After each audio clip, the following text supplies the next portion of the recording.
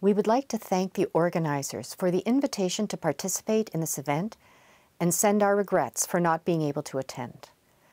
As part of Canada's $2.65 billion climate finance pledge for developing countries in 2015, we allocated $10 million Canadian to the World Meteorological Organization for the Canada CREWS Project to build resilience to high impact weather, water, and climate events.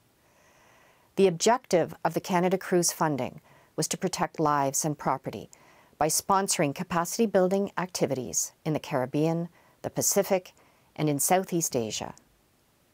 We hope the results and lessons learned under the Canada CREWS Project can contribute to the work underway to respond to the UN Secretary General's recent call to action to ensure every person on Earth is protected by early warning systems within five years.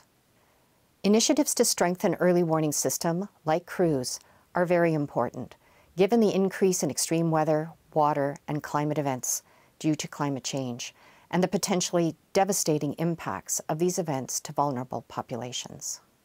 Canada recognizes the importance of reliable weather forecasts and climate predictions as a foundational element in facilitating improved public response and decision making during high-impact hydrological, hydrometeorological events. Actionable warnings and alerts are critical to mitigate immediate impacts of extreme weather events. As authoritative providers of weather, water, and climate services, national meteorological and hydrological services play a central role in protecting lives and livelihoods. They contribute to national resilience by providing timely and accurate forecasts, advisories, and warnings of hydrometeorological hazards, a critical element of early warning systems.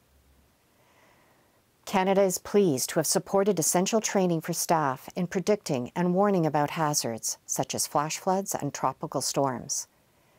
Under the Southeast Asia Flash Flood Guidance System project being highlighted during this workshop, more than 100 regional hydrologists, meteorologists, and disaster managers were trained on the use of flash flood guidance systems and how to issue effective flash flood warnings and alerts.